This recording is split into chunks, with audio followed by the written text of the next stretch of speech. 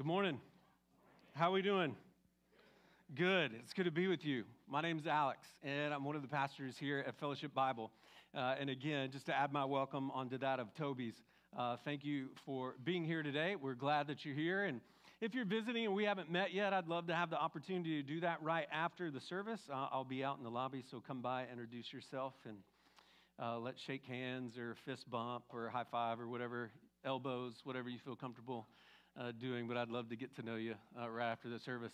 And I will say this I don't typically uh, throw fellow staff members under the bus, but um, Toby has a reason to be a little bit scatterbrained because his wife is due any minute. And, and, and so, like, early signs have been happening, like, like over the last six or seven days. And so, we're just going to cut him some slack, right? It's good. Yeah, it's good. He has a good excuse to be a little bit scatterbrained. And so, anyway, that was awesome. It was pure entertainment. and then, um, and then I want to invite you to starting point. If you're here and you're like, oh my goodness, I've been planning on coming and I just forgot to register. Would you come anyway? Uh, we'd love to have you. It's just a great opportunity to hear more about uh, our church and what God's doing here and what our plans are for the future and get to meet our staff. We've got seven or eight people, I think, signed up, and, and we can have a, a few more. And so, if that's you and you're here and, and, you forgot, or maybe you don't have lunch plans and you just want a free meal, um, just join us down. And the, there'll be hundreds of people there now. Shoot. Um, yeah, just join us down in the loft. Also, want to let you know before we dive in. Um, uh, we had an associate pastor candidate, Clay Smith, who was in town. I, I forget, it was three or four weeks ago. Now, just want to let you know that our combined board of elders and deacons met about a week and a half ago.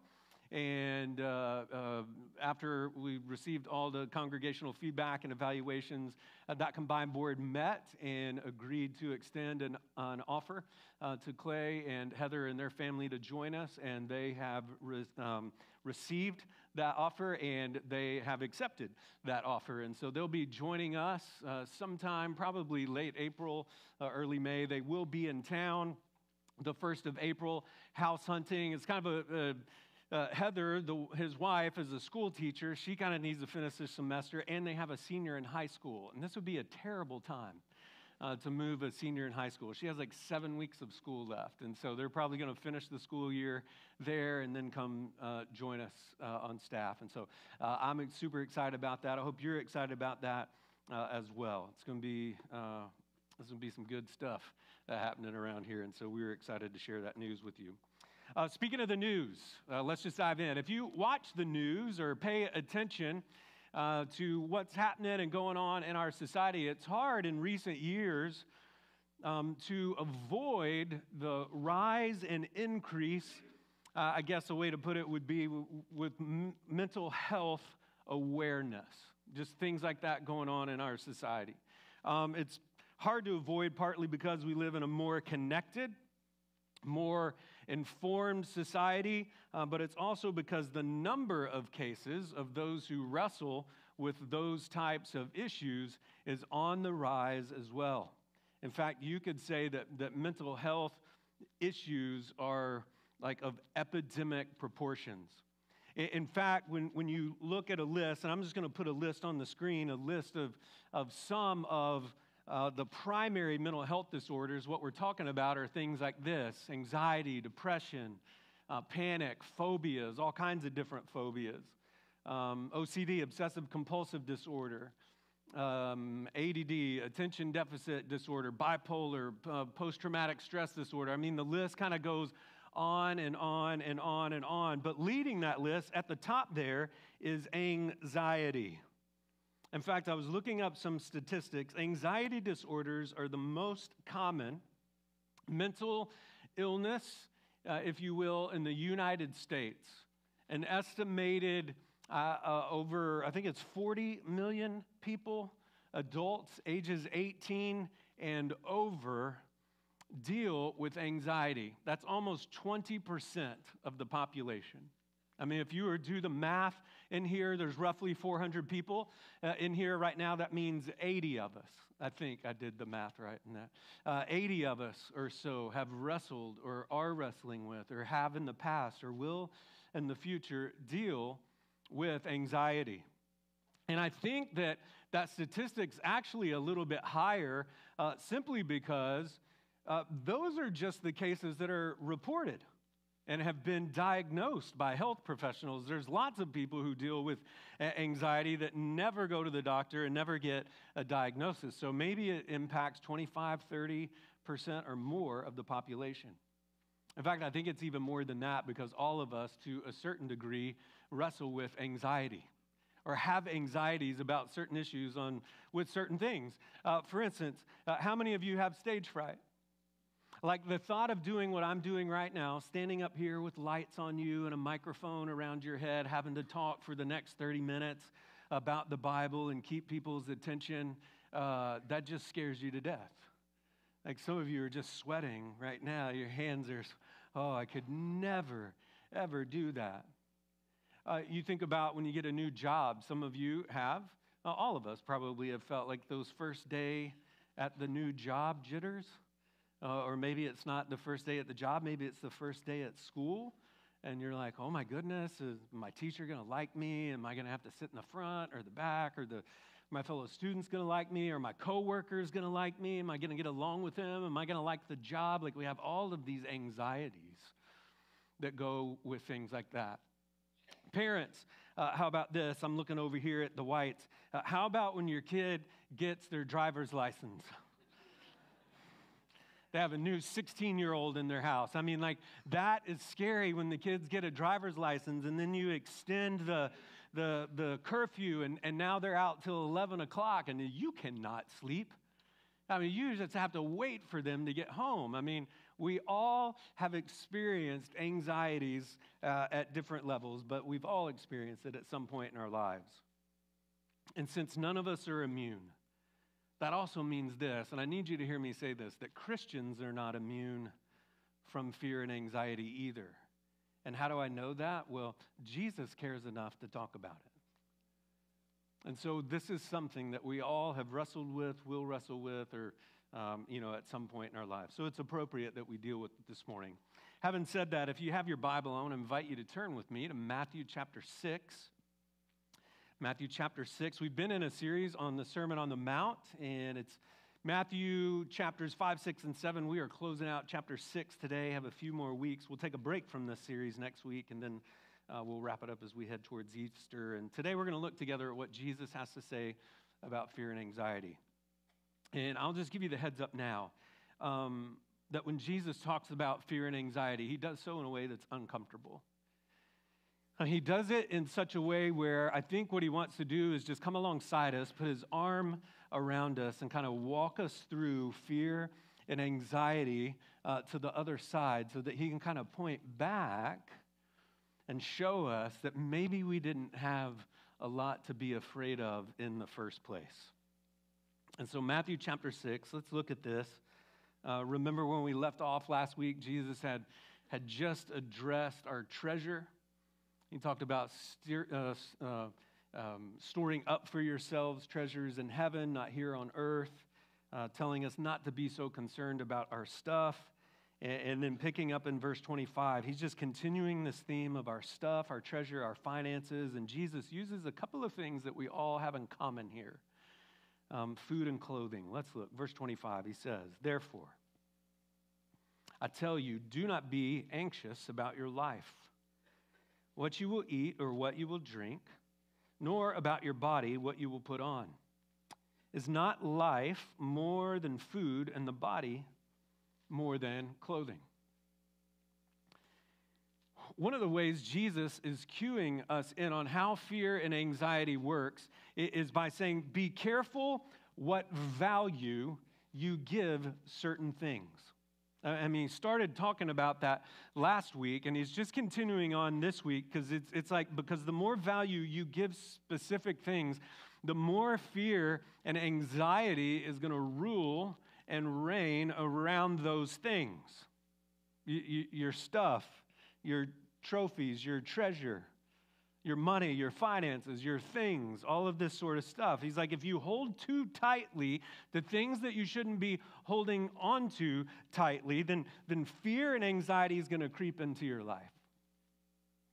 See, when you're talking about fear and anxiety, or as Jesus is talking about fear and anxiety, here's what I think he's really talking about. I think he's really, truly talking about who do you ultimately give rule and reign and authority to in your life?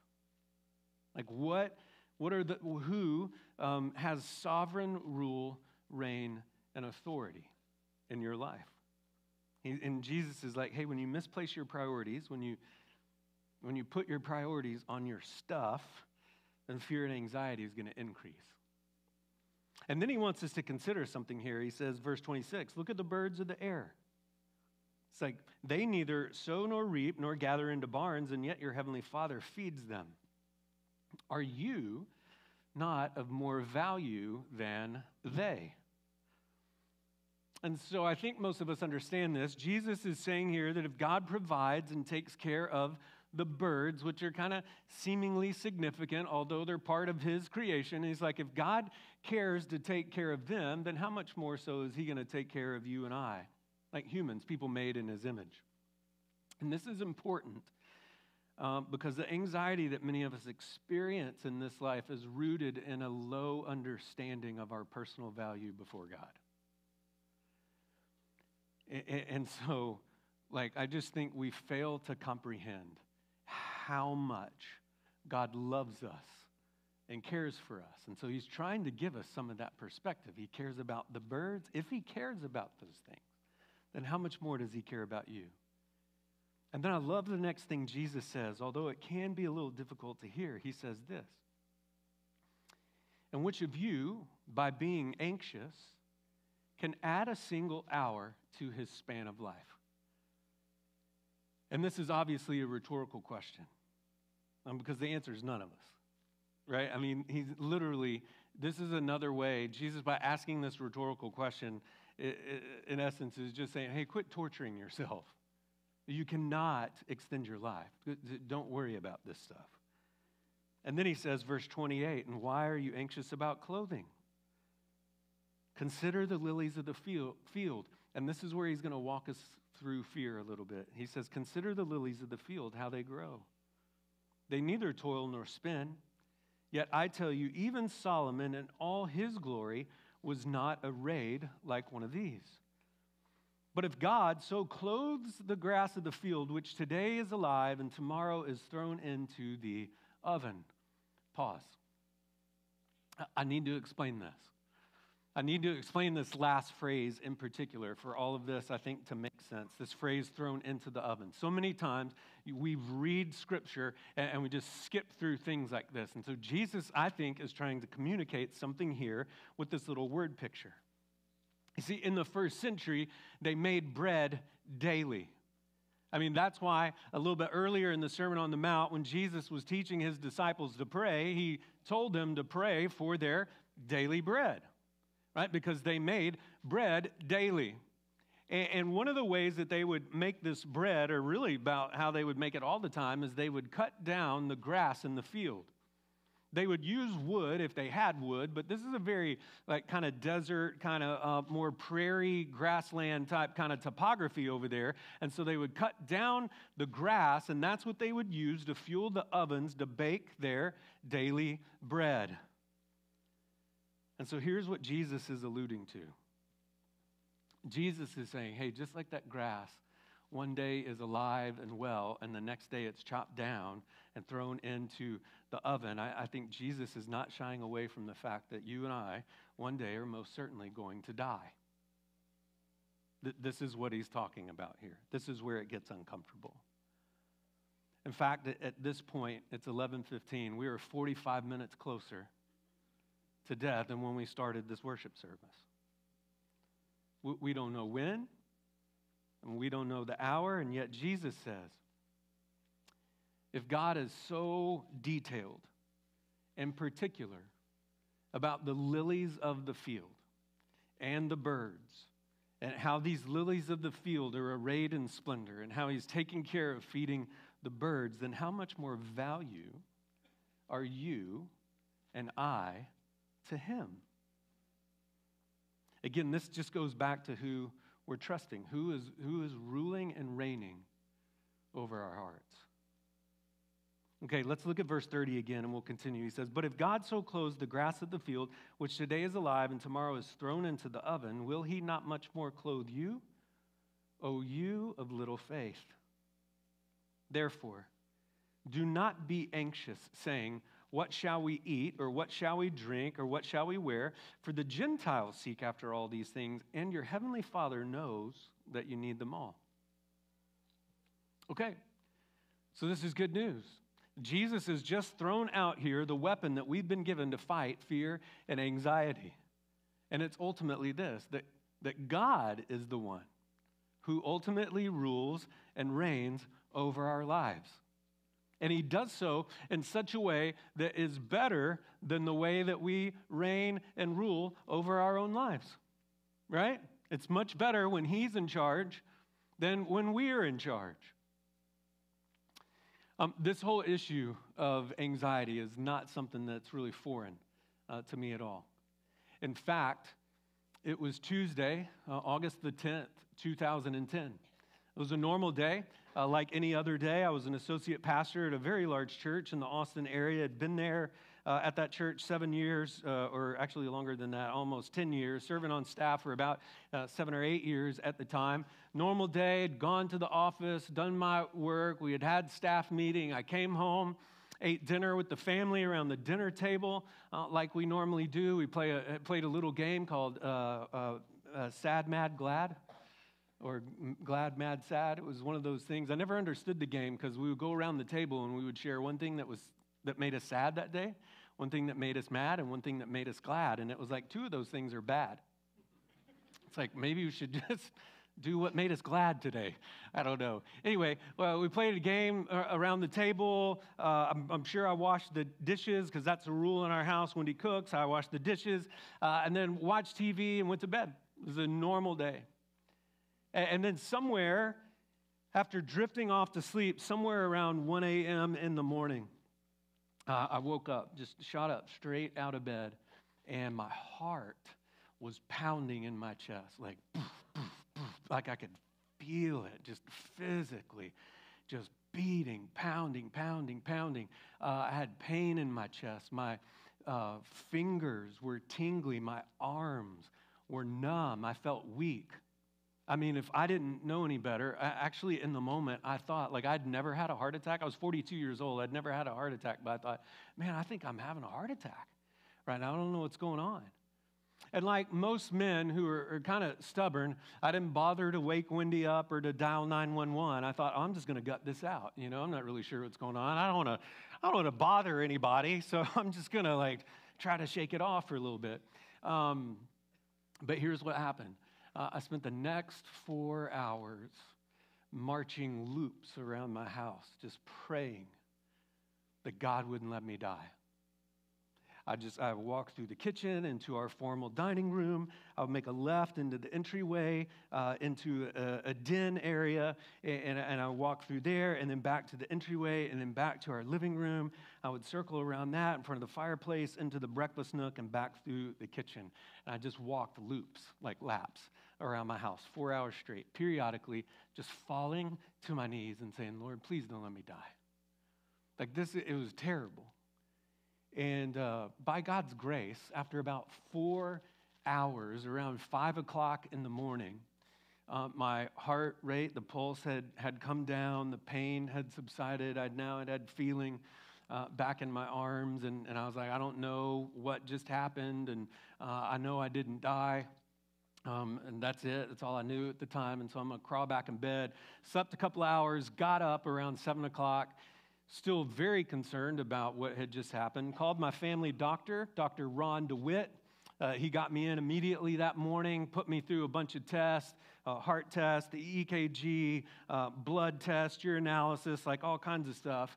And, and, after we run all this tests, he calls me back to his office and he goes, Well, here's the deal.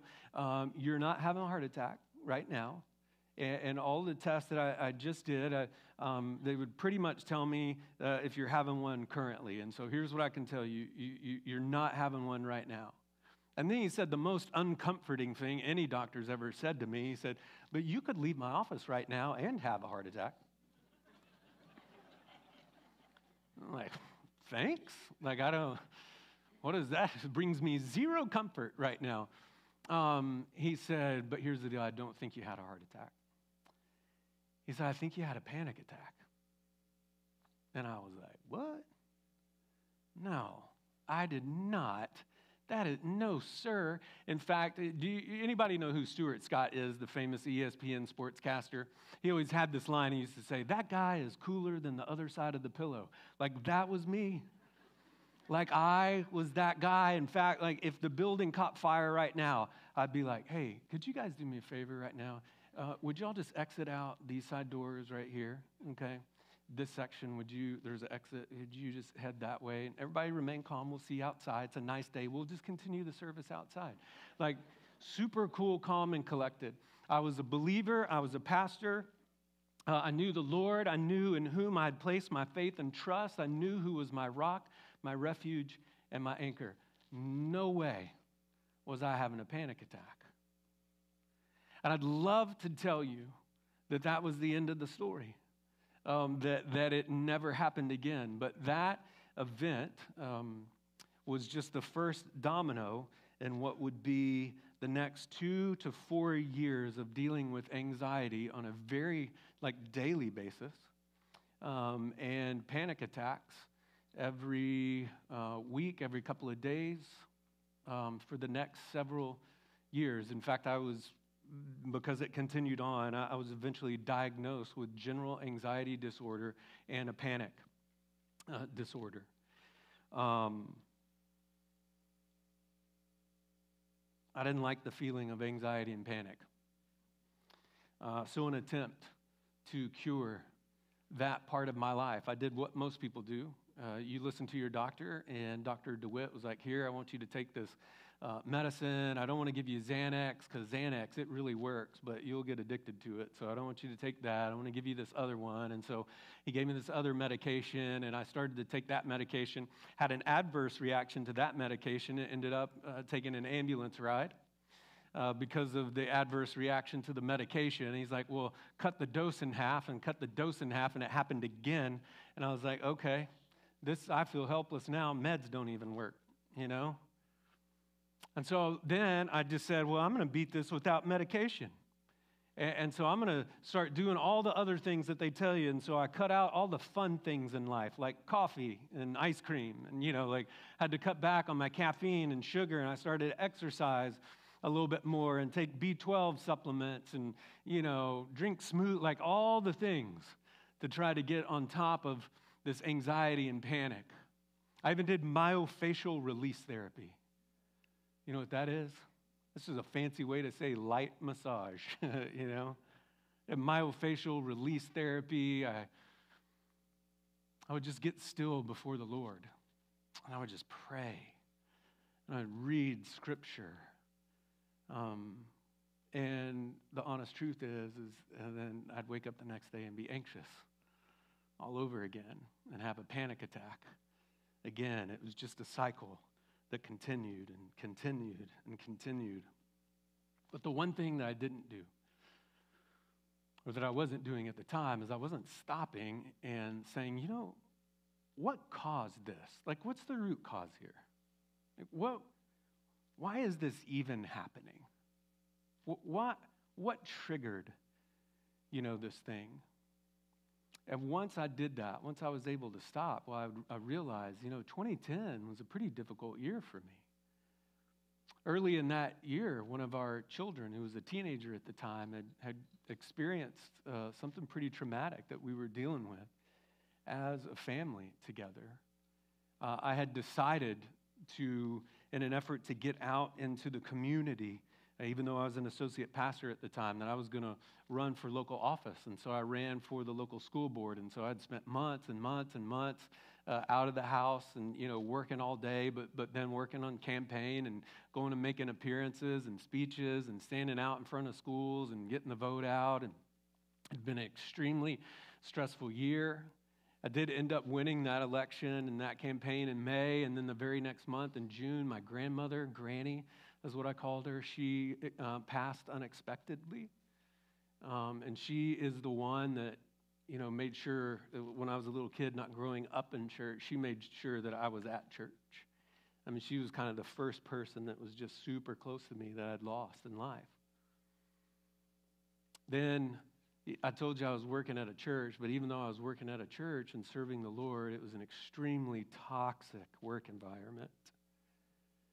In fact, the, I think the triggering event that, that triggered the, this panic attack that night was that just three days or four days before, that happened on a Tuesday, it was the Friday before, I had interviewed for a job uh, as a pastor at a church just down the street from the church I was serving. I was so desperate to get out that I was just like, hey, if this church down the street's hiring, I guess I'll look there. And so I had that interview on Friday, uh, and then the panic attack happened late Tuesday night, early Wednesday morning. Wednesday, I was scheduled to have another meeting with another person about another job. And, and so when I look back on it all, I was able to see all of these events that led up to this, and I realized that deep down, it was a struggle for control. I wanted to be in charge. I didn't like how things were going, and I wanted to be able to fix it all my own power and my own strength. In fact, one of the most merciful things that the good Lord has ever done for me was to allow me to understand that all the control that I thought I had in this life is just an illusion. It's mercy. And as weird as that may sound to you, it was comforting to my soul to just be finally laying in bed one night and go, you know what, God? I can't deal with this. There's nothing I can do here. I can't make me any better. I can't make this anxiety any better. I can't make the panic stop. I have zero power over this, zero control. I mean, honestly, what's going to save me? Like not having coffee and drinking more smoothies and taking more supplements and no. That stuff's not going to make it go away. Those things aren't going to save me from what's most assuredly coming for me, like the grass of the field, right? Which is death. That's coming. The Lord's marked out my days.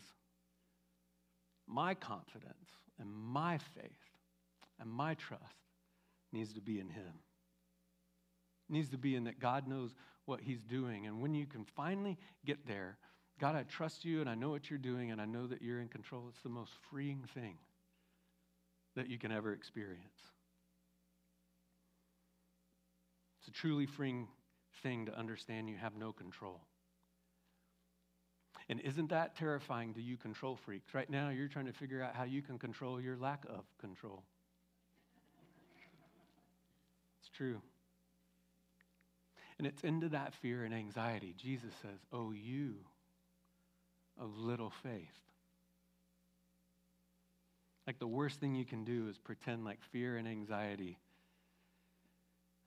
aren't real or pretend that you're strong and you don't have it. Let's keep going here. The next thing he says here is in verse 33 he says, But seek first the kingdom of God and his righteousness and all these things will be added to you. And so it's like in seeking his kingdom, here's what you get you get God, and he's enough. Sometimes fear and anxiety will lead you to experience more of him. And so he's like, seek first his kingdom. And now here's where we see the compassion of Jesus around this issue of anxiety uh, begin to take place. So he says in verse 34 Therefore, do not be anxious about tomorrow, for tomorrow will be anxious for itself. By the way, I didn't tell you, um, you know the definition of anxious is? It's basically caring too much. Isn't that, isn't that interesting? That's literally what it, it's like. You just care too much uh, about whatever thing it is, whatever that thing is in life that's bringing you anxiety.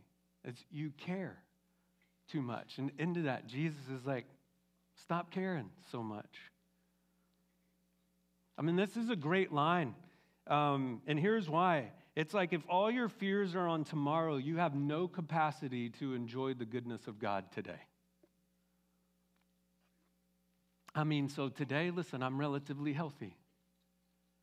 I mean, I'm 55, I'm getting older, so things are starting to break down a little bit, but I'm relatively healthy. My kids are doing well, and they're healthy, and my marriage has never been better.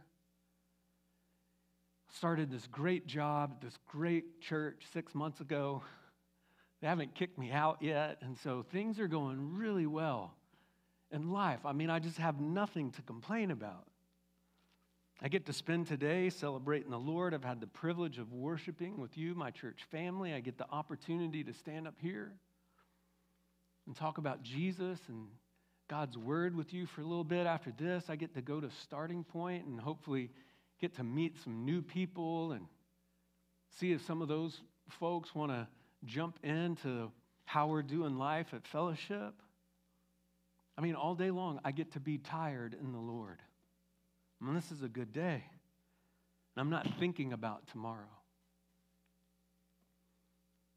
And then finally, here, here's where we're really going to see the compassion of Jesus. Look at this last line. He says, Sufficient for the day is its own trouble. So let me tell you why I think this is a super compassionate statement. You and I were just given permission to deal with anxiety and fear. Today, if we have fear and anxiety, what do we do? We give it over to the Lord. We, we, don't let it compound with tomorrow's trouble. We, we simply stay in today. I really want to drive this point home um, I love what Pastor Matt Chandler at the Village Church in the Dallas Fort Worth area says about this. He said this most, not all, but most fear and anxiety is rooted in the fact that we simply don't trust that God is good. I, I'm, I just believe that. In fact, I wish I would have said it or wrote it or thought it. There's no freedom from anxiety if you can't say to God, if you can't have that moment where you say to God, you know what, God, I don't trust that you're good. I don't trust that you're for my good right now. I don't trust that you have my best intentions right now. I, I don't trust that this situation that I feel like you're working, I don't think it's going to work out. I don't think it's going to work out, God. I don't trust you. That's why I have to deal with this stuff. That's why I have to try and make it better. It's like until you get to that place, until you get to that point, well, where you're willing to admit that the reason that you have fear and worry and panic and anxiety is because you think you know better and you don't trust God. It's not until you get there that you can finally have that moment where you're like, oh, this really is on me. That's not about him. Until you can get to that place where you're like, God, I don't think that ultimately you're going to be for my good.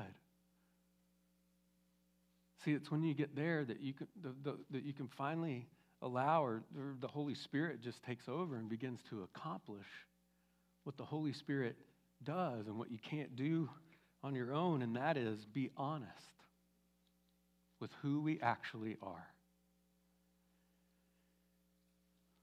Jesus says today has enough trouble of its own. And so, friends, here's what I want to say to you. Then let's deal with it today. Let's deal with it today.